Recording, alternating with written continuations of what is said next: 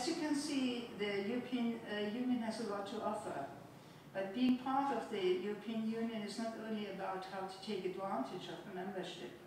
We are convinced that the EU can only develop in the proper direction if all member states are willing to contribute to the implementation of the ideas and principles that I have described, albeit very quickly before.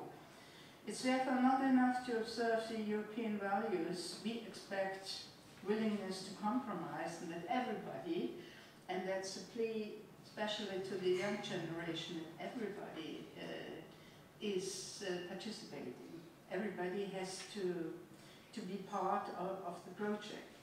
To me, the European Union is, a, is like a large family. So the family will provide shelter and food, but it's only able to do so if everybody contributes.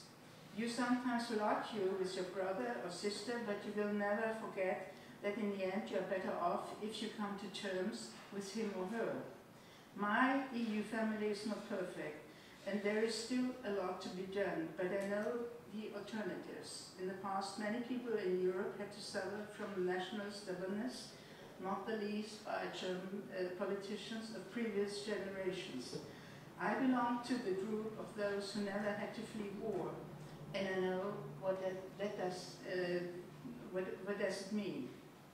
So I'm sure that you can, uh, that, that now I will, uh, uh, on his part, will contribute, but uh, I'm very eager to see and, and to discuss with you about the, yeah, for me only, mostly only advantages and perhaps about the disadvantage, uh, uh, disadvantages of this uh, huge European family.